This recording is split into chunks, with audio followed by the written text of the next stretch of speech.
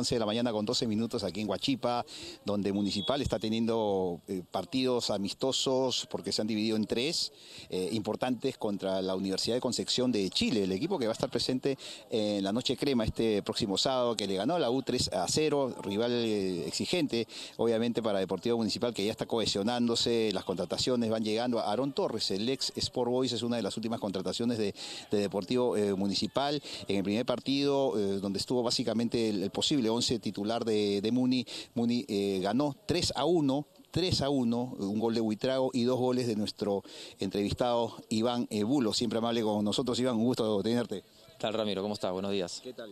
Eh, un partido exigente, importante, Iván, hoy.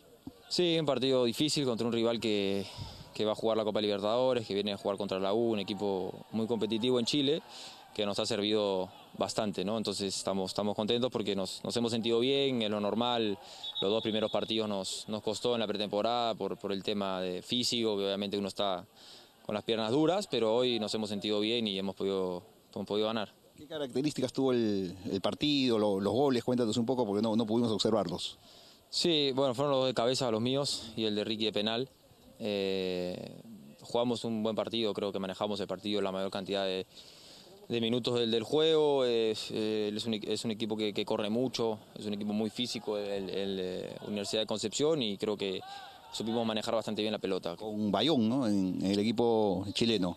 Sí, jugó, jugó en su equipo titular Bayón, tenía un, un, muy buen mediocampo con Camargo, con Droguet, eh, yo me he enfrentado con ellos cuando estaba en Chile, es un equipo, un equipo bien, bien, bien bueno, ¿no? Viene a ganar a la U también 3-0, es un equipo importante.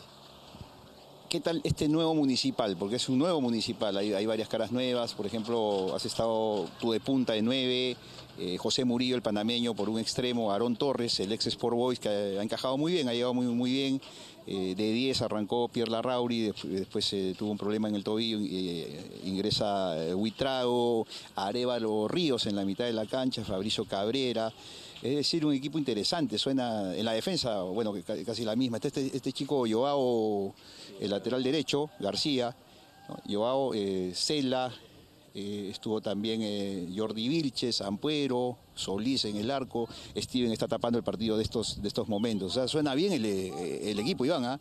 Sí, somos un equipo que va a ser competitivo, ¿no? Como, como todas las temporadas, como lo digo, siempre van jugadores, vienen, es normal pero creo que nos hemos, nos hemos eh, reforzado bastante bien, ¿no? Entonces tenemos que, seguir esa manera, los amistosos son para esto y, estamos listos para, para, competir, como se dice. El debut contra Melgar.